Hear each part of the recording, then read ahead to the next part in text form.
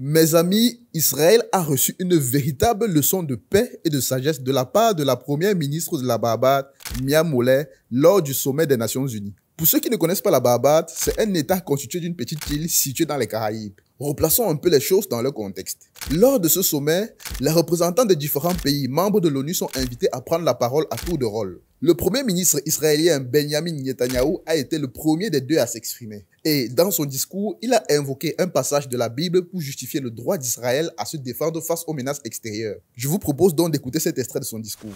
Israël gagnera cette bataille.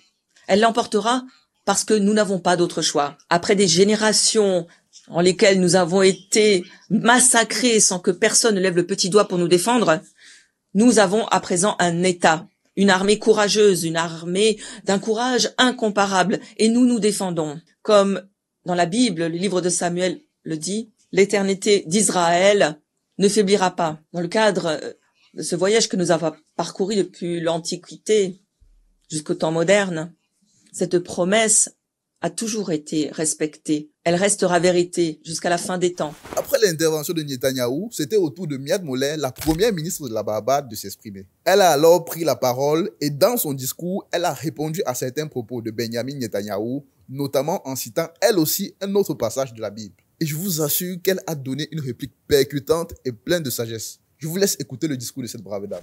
Nous avons besoin de paix. Il ne devrait pas être aussi compliqué que cela pour nous d'œuvrer pour la paix. La Bible même nous le dit dans l'Ancien Testament. Ce qui a guidé bien les populations de par le monde lorsque l'on passe aussi au Nouveau Testament, ce sont les Romains qui nous disent la vengeance n'a pas sa place. Et même si l'on parle parfois de vengeance, on ne peut pas utiliser la Bible lorsqu'elle nous convient et la rejeter lorsqu'elle nous ne, ne nous convient pas. Au cœur de ce maelstrom, nous avons été clairs. Mon pays a pris cette année la décision de reconnaître et d'instaurer des relations diplomatiques avec l'État de Palestine, tout en appuyant depuis 1969 la solution des deux États. Et nous l'avons fait parce qu'à nos yeux, il est clair que l'État et le peuple de Palestine, ces êtres humains, ont le droit à une reconnaissance pleine et entière, ont le droit d'être intégré au sein de la communauté internationale et de bénéficier de son appui. La Charte des Nations Unies ne dit pas nous les peuples à l'exception de quiconque de quelque région que ce soit. Par conséquent, à l'instar d'autres, nous félicitons l'État de Palestine qui occupe aujourd'hui sa place parmi les États membres des Nations Unies depuis le 10 septembre de cette année. Et que les choses soient claires. Nous condamnons les actions du Hamas le 7 octobre mais nous déplorons tout aussi vigoureusement la catastrophe humanitaire à Gaza qui est la résultante de l'emploi disproportionné de la force par Israël. Rien ne saurait le justifier. Et c'est la raison pour laquelle il existe aujourd'hui des traités qui régissent les règles de la guerre. Parce qu'en tant qu'être humain, nous nous sommes engagés en faveur de ces règles. La solution des deux États, aussi hors de portée puisse-t-elle sembler aujourd'hui, est la seule réponse. Je l'ai déjà dit cette semaine. Nous avons mené dans l'histoire de l'humanité des batailles difficiles, mais même si l'on ne pensait pas pouvoir l'emporter, nous avons réussi à le faire. L'esclavage a disparu, l'apartheid a disparu de l'Afrique du Sud. Ces batailles peuvent être remportées. Nous avons la résilience, la capacité, la créativité nécessaires pour le faire. De même, nous insistons pour dire que les assassinats en Ukraine doivent cesser. Le peuple ukrainien doit pouvoir vivre à l'intérieur des frontières internationalement reconnues de son État dans la paix, dans la liberté, libéré de la menace ou de l'emploi de la force. Cette situation a pompé trop, d'oxygène dans système financier international. Des pays qui devraient être bénéficiaires d'aide se voient dire qu'il leur faudra peut-être attendre parce que d'autres pays doivent être défendus du fait des guerres. Je le répète, nous devons nous engager à bâtir la paix, sincèrement. Monsieur le Président, ma propre région n'a pas été épargnée par le fléau de l'instabilité de la violence. La région des Amériques ne sont pas aujourd'hui un théâtre euh, de guerre.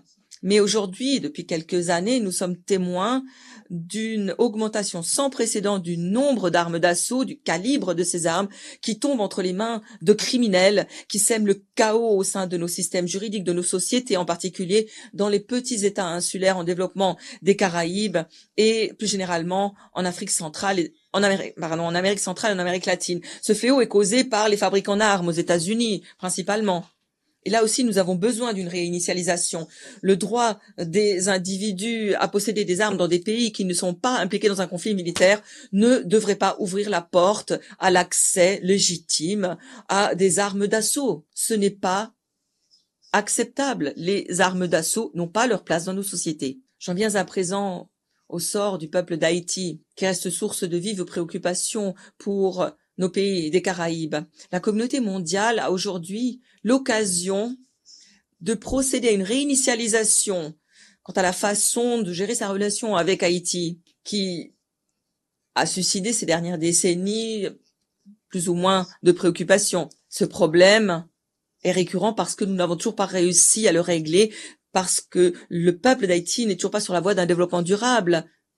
Nous devons transformer notre nation sœur. Nous devons avant tout leur assurer la sécurité. Mais cette transformation doit venir de l'intérieur. Le gouvernement, le peuple d'Haïti ont besoin du plein appui de la communauté internationale. Pas uniquement à court terme, mais à long terme. Et ceci doit commencer par la prorogation du mandat de la force multinationale d'appui à la sécurité. Nous devons renforcer l'action des Nations Unies, déployer tous les outils de la coopération bilatérale, régionale, mondiale.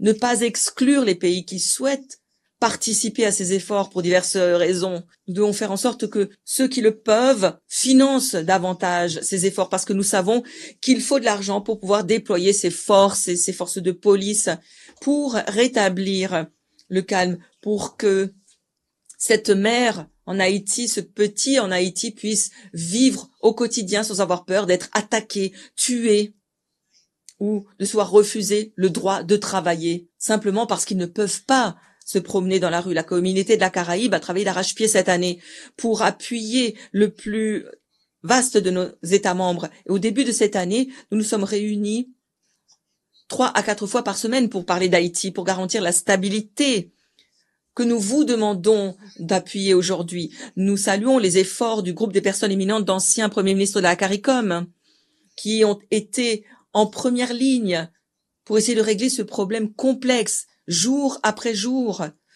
pour que l'on trouve un consensus politique autour d'Haïti. Haïti a été représenté ici par le ministre Conil et le président du Conseil de la Transition. Une réalisation remarquable étant donné la situation qui était celle en Haïti en février de cette année. Laissons le pays avancer vers un avenir plus sûr. Nous ne pouvons pas ici parler d'Haïti sans remercier le Kenya, le président Ruto pour le rôle de chef de file remarquable qu'il a joué après bien des retards et dans le cadre de ce qui est aujourd'hui un précédent historique pour un pays africain, ils ont fait en sorte qu'un pays d'Afrique prenne les commandes pour faire face à ces problèmes de sécurité, de paix, au-delà même de son continent. Voilà le type de réinitialisation dont nous avons besoin au sein de la communauté internationale. Monsieur le Président, on ne peut pas, malheureusement, venir s'adresser à l'Assemblée alors que je me réjouis du jour où je n'aurai plus à le dire, sans demander de soulager le sort du peuple de Cuba. Il est inimaginable que se poursuive cette situation qui est une tâche sur la conscience internationale. Le peuple cubain reste confronté aux circonstances économiques les plus catastrophiques, conséquences directes de son exclusion, de son inscription sur la liste des pays qui parrainent le terrorisme. Cuba, en fait, avait vu un de ses avions détruit au-dessus de la Barbade. Je puis vous dire que Cuba a toujours été un partenaire de premier plan. Ils ont toujours été là lorsqu'il le fallait. Nous envoyons des infirmiers, des infirmières, des médecins pendant la pandémie en fournissant d'autres travailleurs essentiels lorsque la communauté mondiale en avait besoin. Lorsque les populations avaient besoin d'être libérées en Afrique du Sud, en Afrique australe. Le fait est que nous devons continuer d'exiger la levée de l'embargo. Nous ne cesserons de le condamner encore et encore, année après année, parce qu'il est injuste. Je prie pour le peuple de Cuba, pour qu'il se relève des dommages liés à l'ouragan Hélène, tout comme nous prions pour la Floride, qui, dans les jours à venir, va devoir faire le bilan des dommages causés de cet ouragan de catégorie 4. Voilà la crise du climat dont nous parlons. La population au Nigeria continue de décompter les victimes suite aux inondations qui l'ont frappé nous avons du pain sur la planche. Dans notre région des Caraïbes, Beryl a décimé l'île de, l'Union, a affecté la Grenade, Saint-Vincent, de manière assez générale, la Jamaïque et mon propre pays.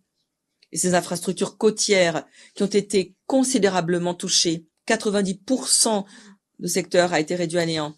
Nous vivons une saison des superlatifs, euh, inondations, sécheresse, ouragans, incendies, qui vont réduire à néant des vies humaines et les moyens de subsistance de bien des personnes. La crise du climat nous frappe, pour ainsi dire, chaque semaine. Partout dans le monde, les négationnistes de la crise du climat ont aussi besoin d'une réinitialisation pour qu'ils admettent l'absolue nécessité de poser une action collective à l'échelle de la communauté mondiale pour préserver nos modes de vie et notre planète. Monsieur le Président, au début de cette semaine, les cieux étaient bien sombres.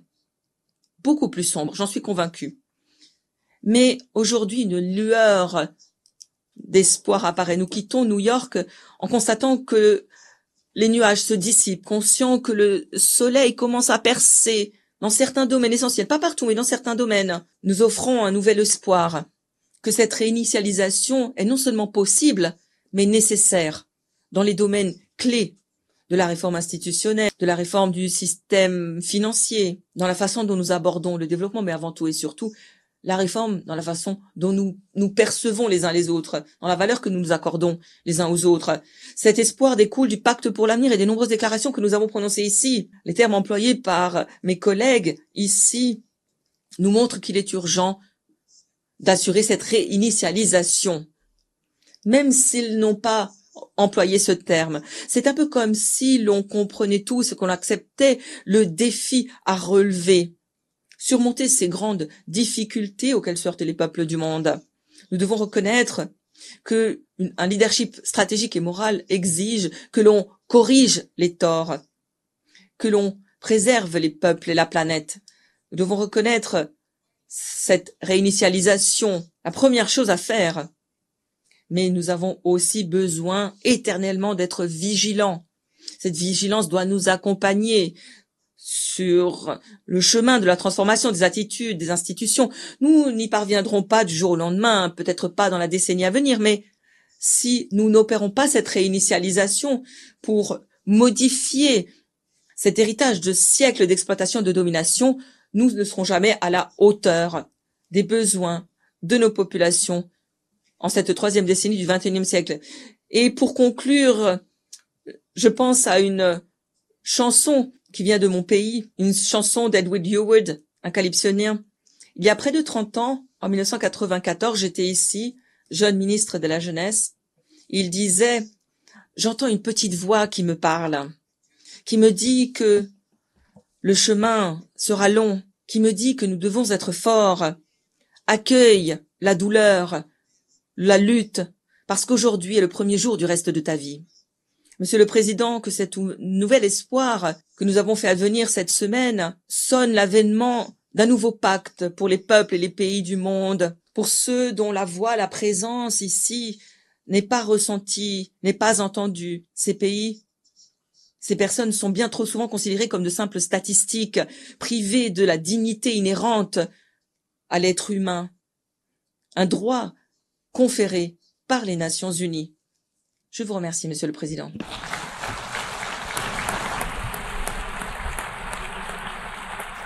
En ce qui me concerne personnellement, j'ai beaucoup aimé le discours de cette dame fantastique. Et j'ai vraiment apprécié ses multiples appels et exhortations à la paix. Car je pense que le monde en a cruellement besoin en ce moment même. Et vous, comment avez-vous trouvé ces deux passages? N'hésitez pas à partager vos avis dans les commentaires likez cette vidéo, partagez-la et abonnez-vous. On se donne rendez-vous bien sûr à la prochaine vidéo. D'ici là, portez-vous bien. Bye.